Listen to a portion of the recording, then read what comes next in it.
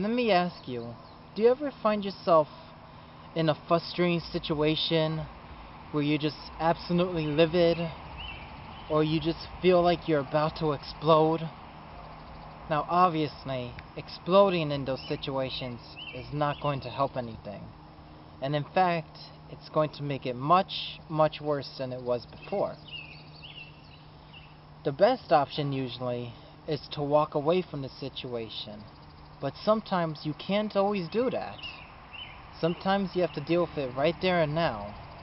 So your second best option is going to be to bring about the best mind that you can to work with the situation. Now, I want to show you a way you can do this so you can handle and confront any frustrating situation whatsoever. Now, when you are in a frustrating situation, sometimes it's going to be with impossible people. That being said, you can do this technique discreetly in your pockets so as that way you don't escalate the situation. With your dominant hand, or the hand you are most comfortable with at the moment, take it and start balling it up into a fist.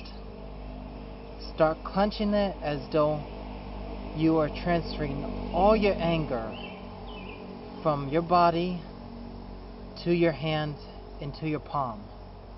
Clench as though you were about to hit something with all your might.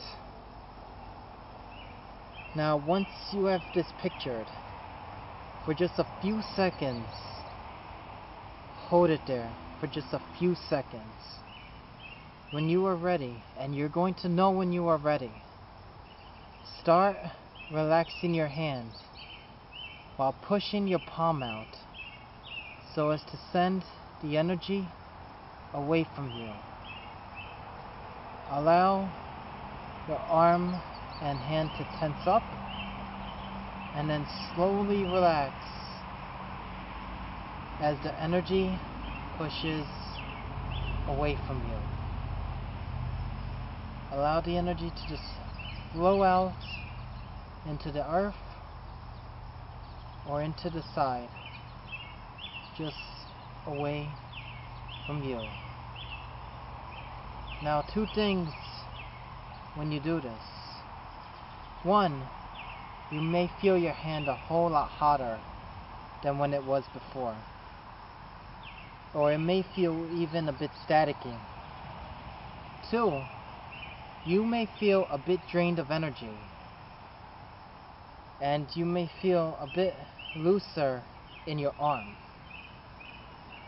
Whatever the side effects are, you're going to feel better equipped to handle whatever frustrating situation you have in front of you.